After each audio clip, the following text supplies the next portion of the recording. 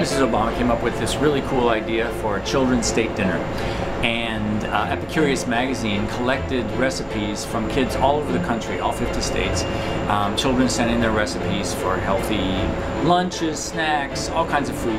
And uh, from that, we chose several recipes that will be featured. We say children's state dinner because we're so used to saying state dinner. It's lunch. It's a children's state dinner lunch. For the first course, we're doing quinoa, black bean, and corn, corn salad. This is a recipe from Arizona. We're doing some black beans, corn, tomatoes, and cilantro, lemon juice, very, very healthy. And actually, it's good. I've tried the, I, I did a little bit of the recipe earlier, so it's a very good recipe.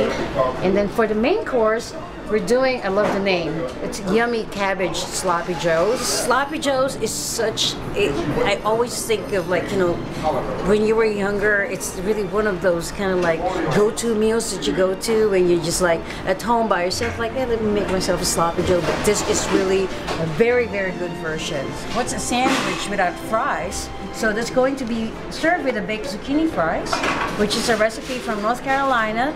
The good thing is it's not fried baked. We just kind of like bread it with Parmesan cheese and all the goodness and then bake it at 400 degrees. It's gonna be crispy and we're gonna make our own version of the ketchup.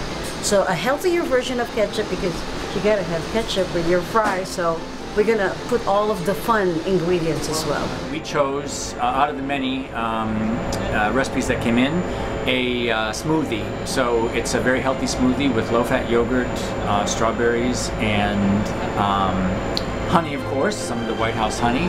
And we're going to serve that in a Pilsner glass, which kind of has a cool shape.